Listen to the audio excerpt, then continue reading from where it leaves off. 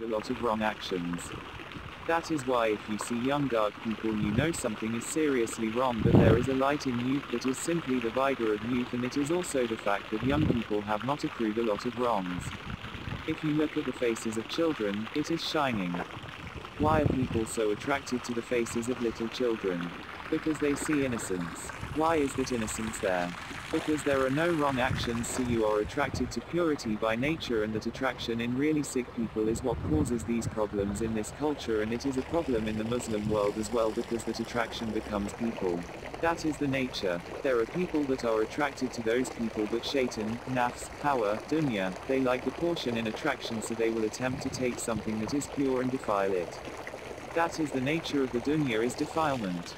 It is what the people of Assam call the kudurat. Kudara means to stir up the mud at the bottom of a pond. You have a clear pond, easy to look down and see the bottom but if you muck up the bottom then you stir up all of the dirt.